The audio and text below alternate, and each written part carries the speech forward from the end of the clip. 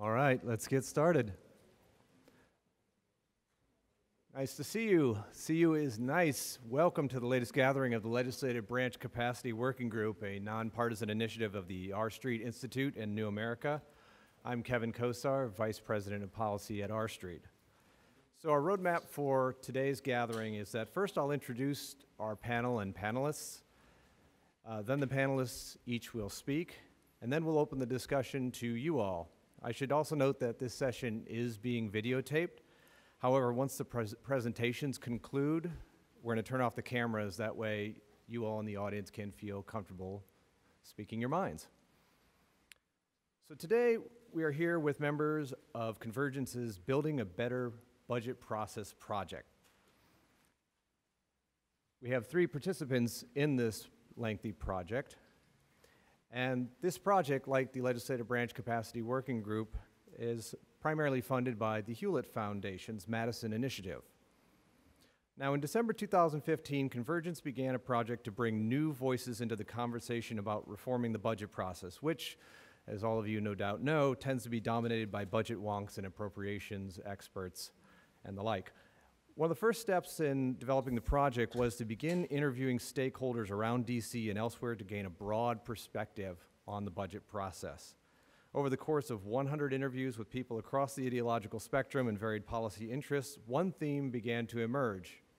The federal budget process plainly is broken. From the interviewees, Convergence selected stakeholders to bring in a, to a dialogue table.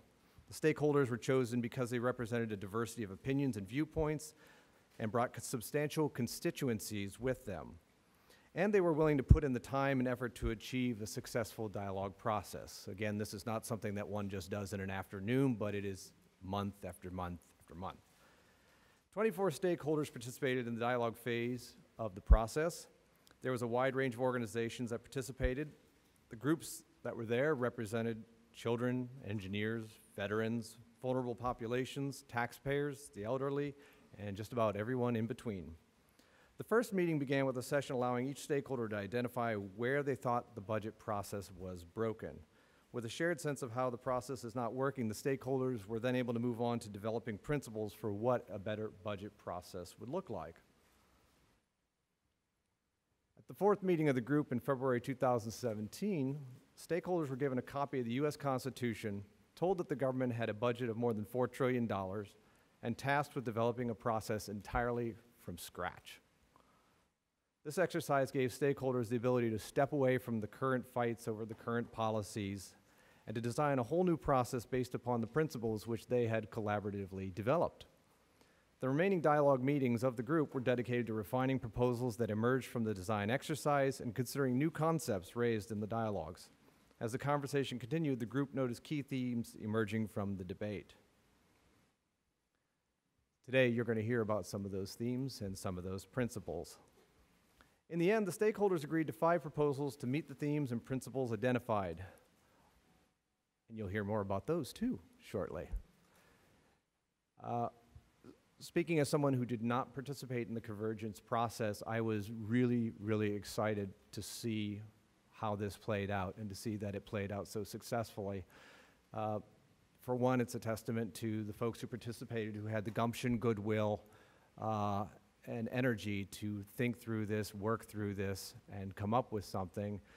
And I was also heartened because budget is a very, very difficult policy area. It is one um, that so many lances have been broken upon over the years. Everybody agrees there's a problem, but we just can't seem to get it fixed. And what this exercise showed by convergence is that it is possible to bring diverse stakeholders who sit at different places on the table and have them together, and they can work something out. So let's turn to the panel. We're going to start with Lindsay Torrico, Director of Policy and Advocacy at United Way Worldwide.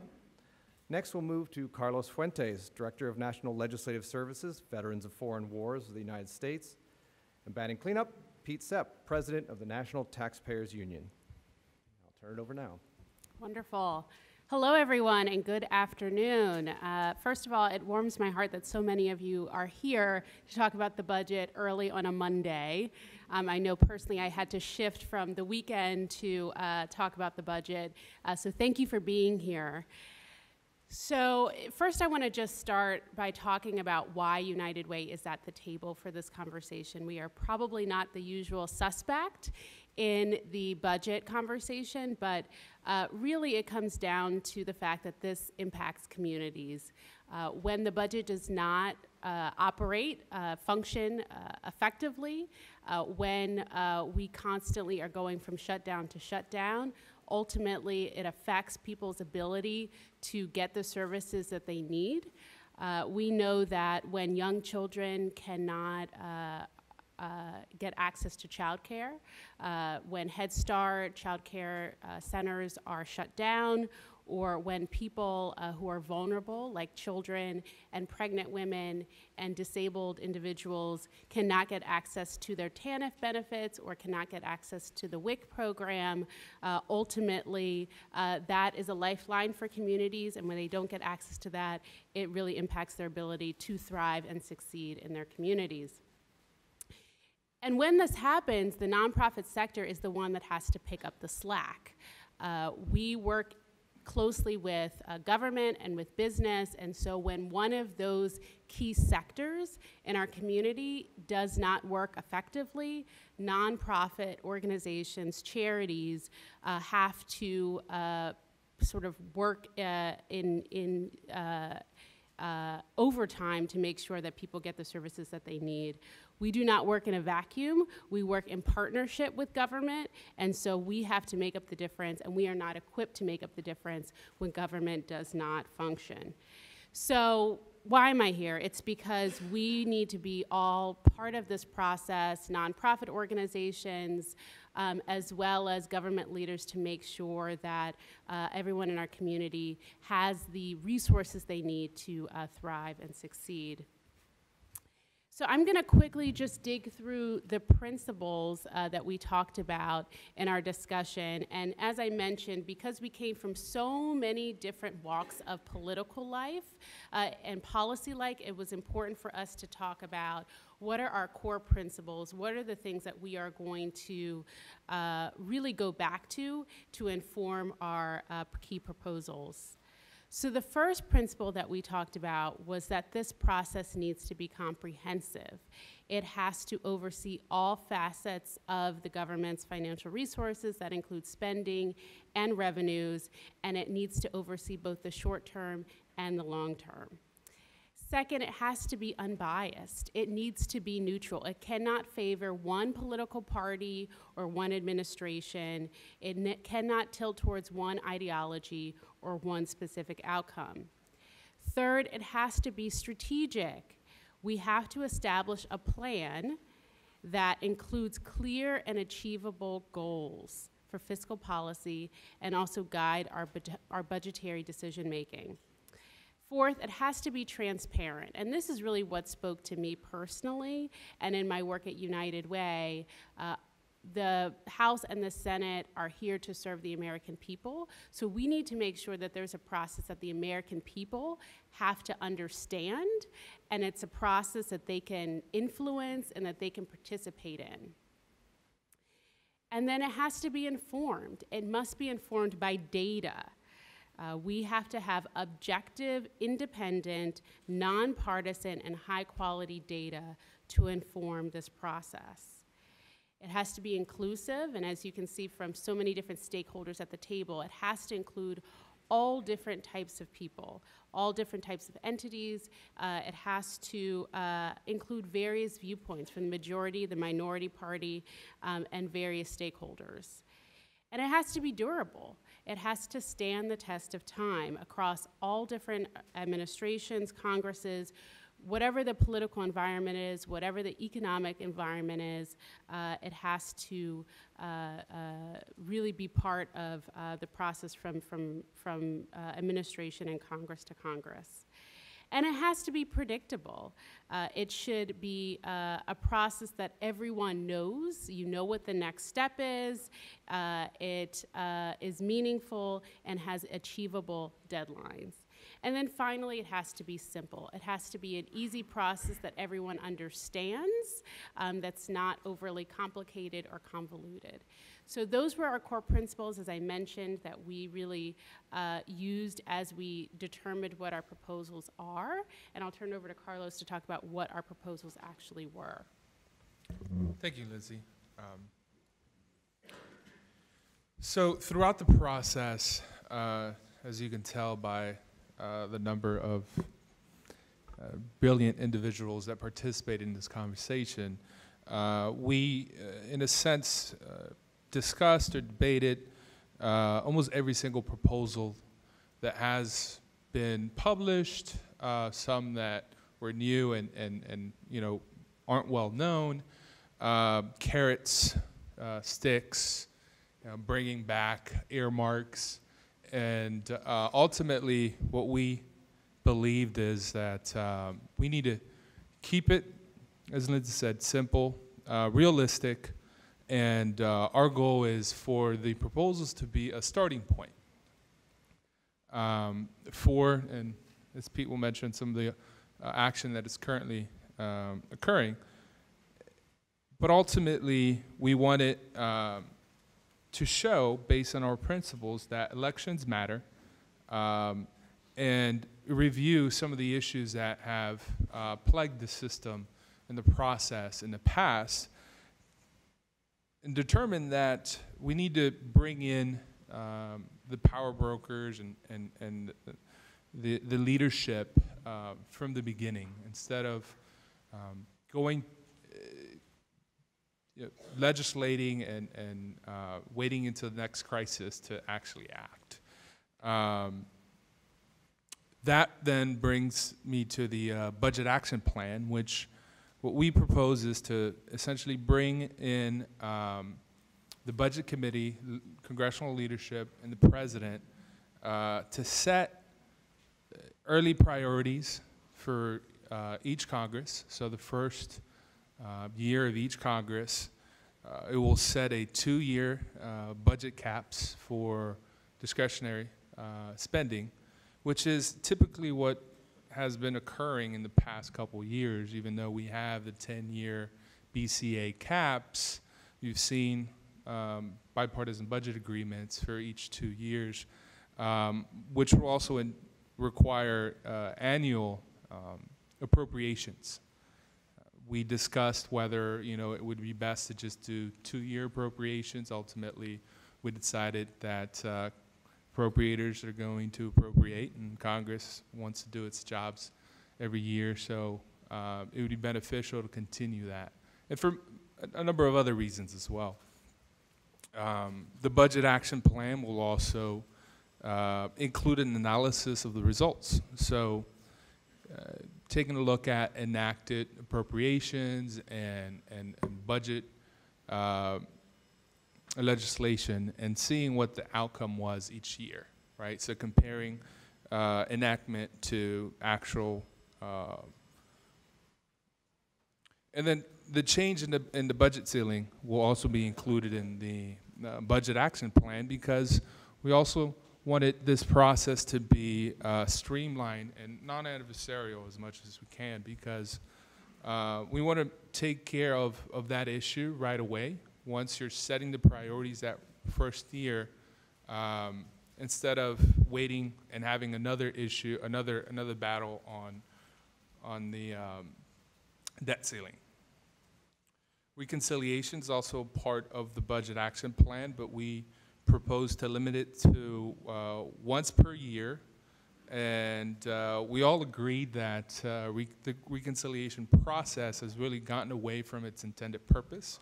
So going back to that as much as possible and moving away from, um, you know, passing policy and legislative uh, outcomes through through uh, reconciliation. The second proposal is the uh, fiscal state of the nation report, and this is again going into the, the theme that uh, elections have outcomes and, and consequences. Um, every four years, uh, concurrent with the presidential election, in a time where um, it will essentially uh, be a part of the debate, the presidential debate. So either uh, right when the primaries begin or, or right once the um, parties elect their, their nominees, having a very um, citizen-based analysis of the state of, of the, the state of the nation and, and the fiscal state of the nation, it is easy to digest um, and to understand how uh, the budget impacts everyday life. As Lindsay um, mentioned earlier, uh, we all came to the table because we see the real impact of uh, uh, the budget process in our constituency, right? When you have continuing resolutions, the, the VFW represents service members, veterans, and their families. When you have uh, budget resolutions that, uh, or continuing resolutions and issues with uh, funding for certain programs, you'll see that uh, service members suffer. You know, you'll have uh, change of duty stations that are canceled. You have training that's canceled uh, during the government shutdown. Um, veterans, in, in terms of health care, aren't receiving the care they need because of uh, you know, issues in, in terms of receiving the appropriate funding through continuing resolution. Um, all those issues uh, are, in a sense, lost in sometimes in, in our constituency because they don't see how inaction or, or uh, you know, difficulty in Congress enacting uh, stable budgets impact their everyday life. And we feel that uh, fiscal, the fiscal state of the nation report uh, would be that vehicle to do so. Also, um, reviewing and, and, doing periodic long-term reviews of uh, portfolios in each budget item. Our proposal is to uh, divvy up the budget into certain portfolios and have GAO do periodic reviews to see where uh, these programs are and, and how they compare to projected either revenue or expenditures and, uh, and see, frankly, where, um, where the budget needs to be adjusted. It would be a staggered review, so we wouldn't have all the portfolios reviewed at the same time, but you'll have at least uh, each portfolio reviewed once every four years. It includes discretionary and, and mandatory um, side of the ledger. One of the other proposals is to strengthen the budget committee. So again, you know, a lot of proposals have um, discussed whether we, we even need to have a budget committee. We also discussed uh, uh, merging the appropriations committees and the budget committees. Ultimately, we saw that uh, one of the key issues with the current process is that we have a, a process in the very beginning that doesn't really have a huge impact on um, the debates that occur later on when it comes to the appropriations process. And, and that's mainly because you don't have the chair and the ranking members and a lot of the leadership on the budget committee. So our proposal is that the, either the designee or, or preferably the chair or the ranking members of the Ways and Means Committee and the rest of the authorizing committees to sit on the budget committee so that you can have those discussions on policy and, and, and, and different proposals uh, in the very beginning instead of waiting until the end once you're you know, nearing a, a deadline and, and having to, to budget through con concurrent, uh, continuing resolutions. The uh, last component is um, a, a, realization that um, budget support agencies have a significant role in, in the process. The Joint um, Tax Commission and, and, and the um, Congressional Budget Office uh, produce uh, many of the uh, reports and, and material that, that we believe is, is key and, and must be continued. Um, but they also need that support to be able to produce reliable, uh, unbiased data that we can uh, base uh, a lot of these key decisions on. So our proposal is to strengthen these support agencies. Um, and, and hopefully with all of these proposals, our, our goal is to um, have a streamlined um, budget process that will uh, lead to, to better outcomes. And um, I'll turn it over to Pete, who will discuss uh, the way forward. Many thanks. The future. Well, let's see if we can narrow that down a bit. The Joint Select Committee on uh, the Budget and Appropriations process probably conjures up the image of 2011, the so-called super committee that tried to solve all of our deficit problems, and people are saying, oh gosh, not another one of these. Here's why I think that this process will afford the convergence proposals an opportunity to be heard and perhaps embraced, as well as increase the chances for success of budget process reform. Look, the fact is, the Joint Select Committee process, even on its own, only guarantees a small chance of success for budget process reform. I can tell you this, though, without the Joint Select Committee process, our chances for reform go from small to virtually nil. Here's why the design of this committee is sort of taking a nod to past history, picking up on the mistakes that were made in past committee models, and is increasing the chance that we just might get a good set of proposals through. Turn back the clock to just after World War II. Uh, there had been proposals to establish a congressional budget resolution going all the way back to the Taft administration, and they were mainly commission style recommendations. But right after World War II, Congress tried to get serious about it. They created what was called the Joint Committee on the Legislative Budget. And what they did was staff this joint committee with 102 members of Congress. All the tax writers, all the appropriations writers, all at once, trying to reach consensus over a budget resolution. What do you think the outcome of that was? Well, there was actually an editorial at the time uh, that uh, commented, looking back on its first three years of operation, 40, uh, 47, 48, and 49, and they said, well, in uh, the first year, they failed to reach agreement on a resolution. In the second year, they reached agreement on a resolution and failed to abide by it. And in the third year, they just gave up trying. Lesson one the committee was too large.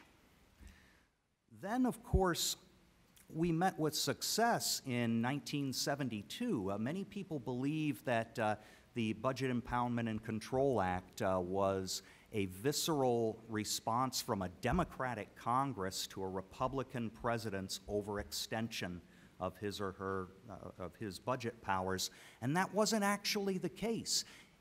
This process also began with a joint select committee. This one was called the Joint Study Committee on Budget Control, hashed out a whole set of prescriptions for Congress to establish a more orderly appropriations process. Those recommendations later became part of the law that passed in 1974, and it passed unanimously in the Senate, passed with only six votes in opposition in the House.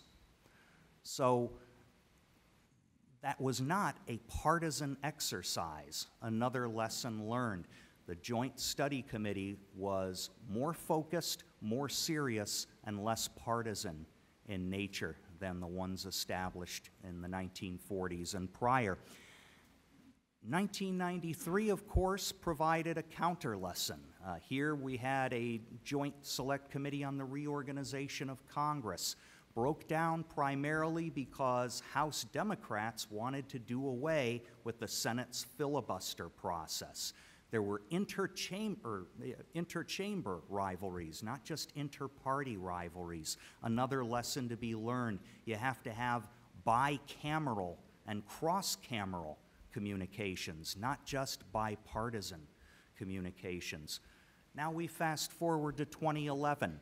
Again, people are comparing what we have now, the Joint Select Committee that's meeting, with the Super Committee. Totally different objectives here. The Super Committee sought outcomes, specific reductions in deficits or levels of taxation or increases in levels of taxation. That is not the purpose of the Joint Select Committee, obviously. And this is how it parallels with the Convergence Project, building a better budget process. We all had to set aside our preconceived notions of the outcomes we wanted from the budget process. Rather, we just wanted a process that could function. Uh, from my standpoint, a fiscally conservative policy group, uh, we think the budget process is flawed because it represents deferred decision making. The results are shallow, scattered oversight, uh, no action on structural problems and entitlement programs, and that thing called a 20 odd trillion dollar national debt. I mean, that's all a consequence of deferred decision making. But that's not why I'm endorsing this and National Taxpayers Union is endorsing these reforms. It's because we need a process that functions again, not necessarily a process that leads to a certain level of taxes or spending.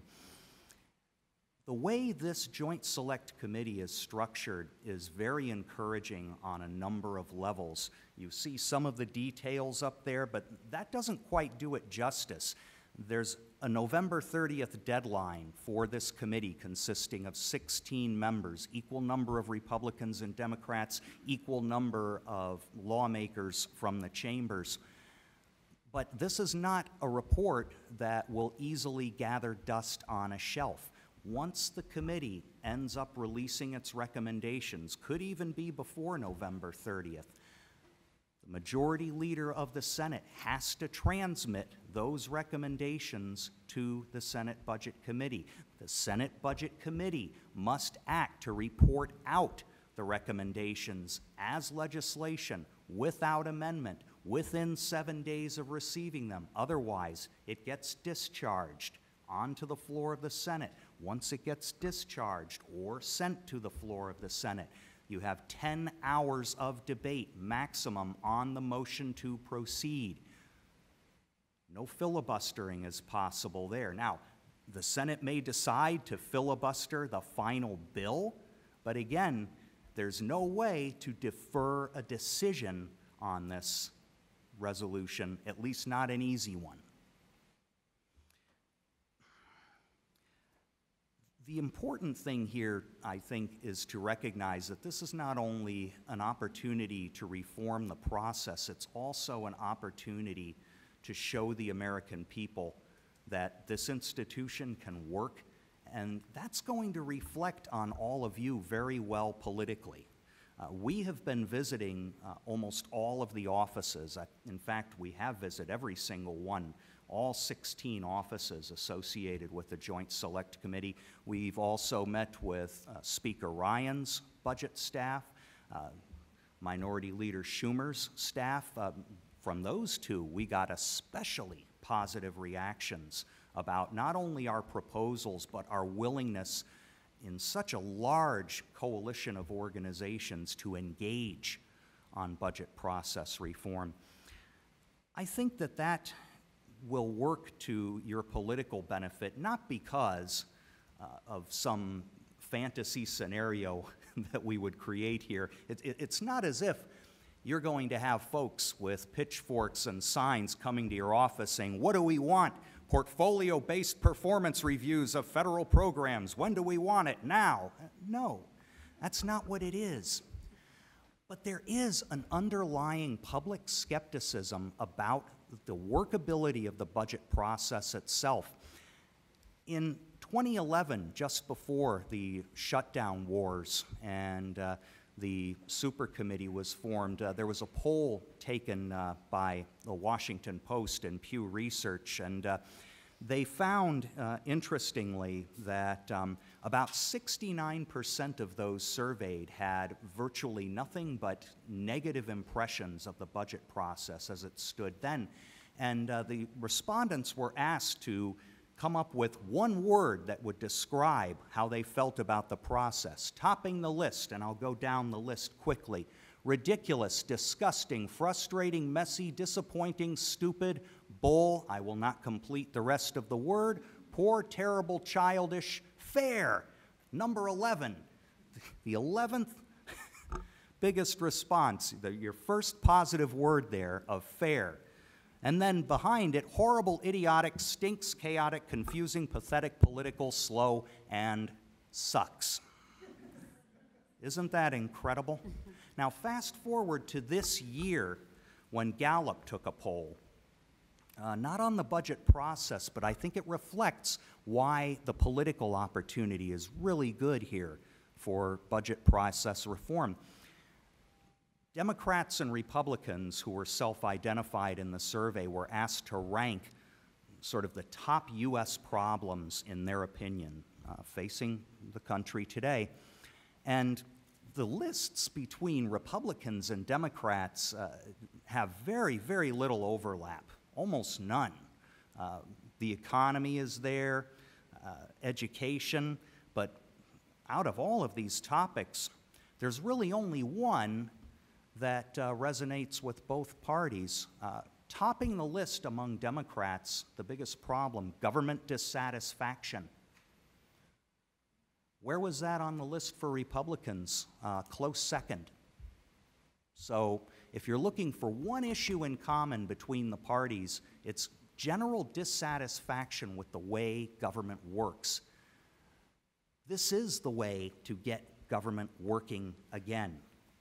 It's not necessarily going to happen overnight, and many of the ideas, of course, that uh, the Joint Select Committee could come up with could vary from the ones that we're presenting here, but that's sort of the way it's supposed to work. The point is, if we establish a more stable budgeting environment, lots of other things can fall into place. The very process of making other types of policy not related to the budget can once again find bipartisan safe space in which to be made.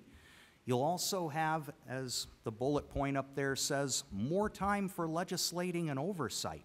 I mean, this portfolio based oversight proposal we have is long overdue. It's got major support on both sides of the aisle. That would be a great starting point. We'll also have the time to develop more quality information about budgetary proposals themselves. One of our big proposals was enhance and strengthen budget information organizations. Well, you need not only more money for that, you need more time for that. And this could give us the space to do it. I'll simply conclude by saying there's a vital need not only to develop budget process reform proposals, and I'm hopeful that the Joint Select Committee will be the vehicle to carry them. But there's also a job for everyone in this room to do if it actually does happen. Uh, I'll quote from the uh, uh, Congressman Richard Bolling of uh, Missouri. He was uh, head of the Rules Committee at the time they reformed the budget process in 1974. He said, to make this design work is going to be just as onerous, perhaps more onerous and more difficult than coming up with the design in the first place. That is where all of us are going to have to come in. Whatever the committee can recommend, whatever can make it past congressional votes, hopefully by the end of this year, if not this year, then we'll reintroduce it next year. Whatever it is, we're all going to have to work very hard to focus on process rather than outcomes, and work across the aisle. We did it, you can too, and if we haven't come to visit you yet, get ready. it'll be a pleasure to talk with all of you uh, after the session and follow up. So thank you.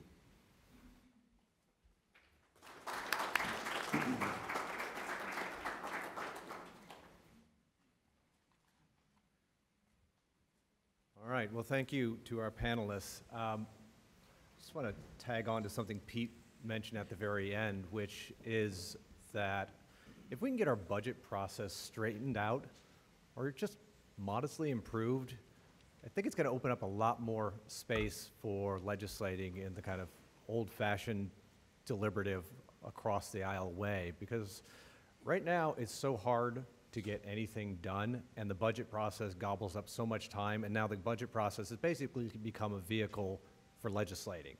So we all know what the omnibuses look like. They're jam full of stuff. We don't know, you know, half the time you don't know what's in there. These mega bills uh, are making policy, and often the policy is not exactly well vetted. Uh, It's dropped in, and members are then given the really rotten uh, choice of either trying to scuttle the whole darn package or swallowing uh, what's in the bill. And that's certainly not ideal, and the public certainly doesn't like seeing omnibuses, you know, 1,000, 2,000, 3,000 page bills. They, they want bills read, they want policy to be made in a cognizable manner. Uh, Anyway, moving on, uh, let's turn it, o- uh, open it up to the floor. Do folks have questions about what was said, the process, the proposal, anything on budget?